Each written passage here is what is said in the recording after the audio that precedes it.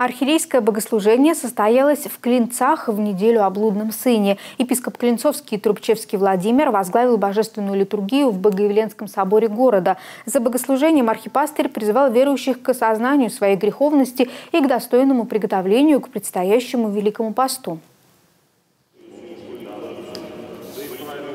Покаяние невозможно без осознания греховности. О покаянии гласил и звучавший за литургией евангельский отрывок. Одна из наиболее глубоких и проникновенных притч, раскрывающих характер взаимоотношений Бога и человека – притча о блудном сыне. Часто представление о Боге у многих как о грозном судьи, но в этой евангельской притче Господь являет себя как любящий Отец. Согласно и слову Иоанна Богослова, Бог есть любовь.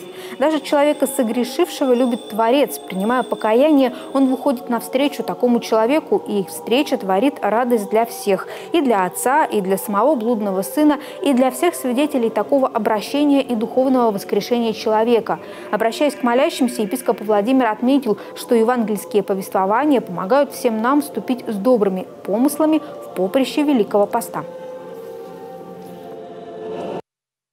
Эта притча призывает каждого из нас прийти в себя, помня о том, что Отец наш Небесный любит нас более, чем мы Его. Он первый идет нам навстречу. Как только наше сердце обращается к Богу со словами покаяния, мы таким образом раскрываем свое сердце в объятия Бога. А оказывается, Он уже стоит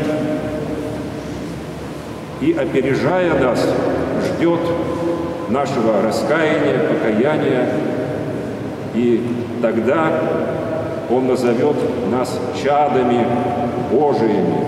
Это высокое звание, братья и сестры. И вот Великий пост предуготовляет каждого из нас духовно возродиться, чтобы каждый из нас стал любимым чадом Божиим. Аминь.